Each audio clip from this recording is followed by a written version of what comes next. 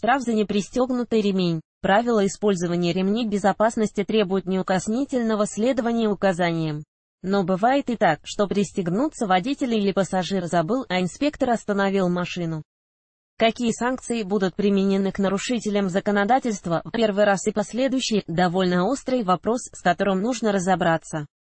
Суть нарушения. Водители, которые не пристегиваются за рулем и не контролируют, пристегнуты ли их пассажиры, нарушают статью 12.6 КАП. Ответственность накладывается отдельно на водителя и отдельно на пассажиров. Это значит, что если пассажир не пристегнут в автомобиле, то для него предусмотрено персональное наказание. Ремень безопасности водитель штрафуется, если сам не пристегнут или не пристегнуты его пассажиры, на 1000 рублей. Пассажир которого поймали впервые на подобном нарушении, сможет обойтись предупреждением, во второй раз ему выпишут штраф на 500 рублей. Нарушение и ответственность пассажира регулируется статьей 12. 29К. Протокол заполняет инспектор. Пункт 2. 1. 2 ПДД РФ устанавливает, что если в транспортном средстве есть ремни безопасности, то водители и его пассажиры обязаны быть пристегнуты. Ответственность наступает только в том случае, если инспектор лично видел, как транспортное средство двигалось, а водитель в нем не был пристегнут. В стоящем на месте автомобиле никто не обязан быть в пристегнутом состоянии. Такой же штраф могут выписать мотоциклисту, который движется на мотоцикле без шлема или в незастегнутом шлеме. Если оплатить штраф за ремень в течение 20 дней, то скидка составит 50% 500 рублей для водителя и 250 рублей для пассажира. Это же касается и пассажиров, сидящих сзади. Остановка инспектором непристегнутого водителя важна. Штрафы не плюсуются. Если водитель и человек на пассажирском сидении не были пристегнуты, то водителю выписывается только один штраф на 1000 рублей, независимо от количества пассажиров. Однако инспектор может выписать дополнительный штраф 500 рублей индивидуально для пассажира. Если пассажир не пристегнут, штраф платит и тот, кто за рулем 1000 рублей и сам не пристегнутый пассажир 500 рублей. Когда можно оспорить штрафные санкции, конструкция автомобиля не предусматривает ремни безопасности. Машина была припаркована, когда водитель был не пристегнут. Ремни безопасности вышли из строя в дороге и водитель направляется на 100.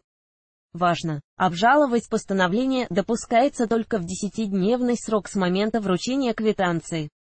Также можно проверить наличие задолженности перед ГИБДД на специальных сайтах. Отдельную категорию составляют штрафы за ребенка, который не пристегнут.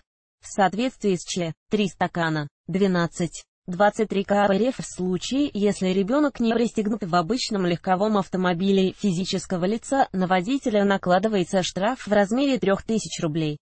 Если это происходит в движущемся автобусе должностного лица, школа или детский сад, водителю придется заплатить уже 25 тысяч рублей. Сумма штрафа за ремень безопасности в 2018 году для организации или юридического лица составляет 100 тысяч рублей. Перевозить детей на транспорте, не оборудованном ремнями безопасности, категорически запрещено. Исключений для Москвы и Санкт-Петербурга нет, стоимость всех штрафных санкций такая же, как и по всей стране. Дети как узнать о штрафе и что потом делать? Самый частый способ узнать о появлении штрафа – получить квитанцию на месте происшествия. Обычный инспектор выписывает постановление и попутно рассказывает, где его можно оплатить. Но бывают и ситуации, когда штраф выписали, не останавливая машину. Инспектору достаточно точно увидеть движущийся ТС с непристегнутым водителем, чтобы выписать ему штраф. По такому же принципу работают камеры наружного слежения. Уведомление о том, что нужно оплатить штраф, всегда приходит на почту по месту регистрации нарушившего лица. Лицам, зарегистрированным на портале госуслуги, уведомление приходит в личный кабинет.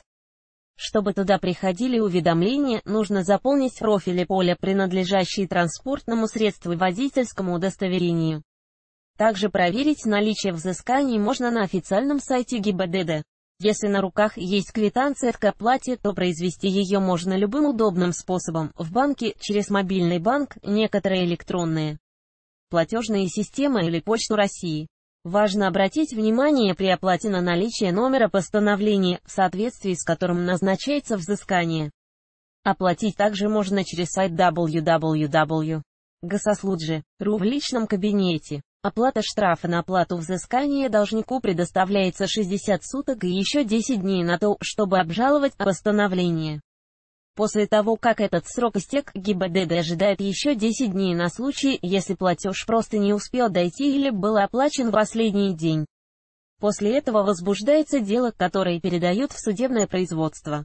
Суд назначает двукратную оплату долга, административный арест до 15 суток или 50 часов обязательных работ. Выбор наказания зависит от того, насколько злостный неплательщик и других отягчающих, смягчающих факторов. Если нужно заявить о нарушителе, люди, не пристегивающие себя и своих пассажиров, подвергают опасности не только себя, но и других участников движения. Иногда наказать таких нарушителей просто необходимо, чтобы в будущем аварийная ситуация этим человеком не создавалась. Чтобы наказать водителя, нужно выполнить несколько действий. Важно попытаться снять на видео или фото факт нарушения движения транспортного средства с водителем, который не пристегнут ремнем. Безопасности в соответствии с правилами дорожного движения. Идеальным доказательством будет, если фотокамера или видеорегистратор запишет не только факт нарушения, но и четко зафиксированный государственный номер автомобиля. Когда запись есть, можно лично обратиться в отдел ГИБДД, на территории которого случился инцидент. Отправить заявление и флешку с записью нарушения по почте на адрес отдела ГИБДД. Воспользоваться электронной приемной на сайте ГИБДД.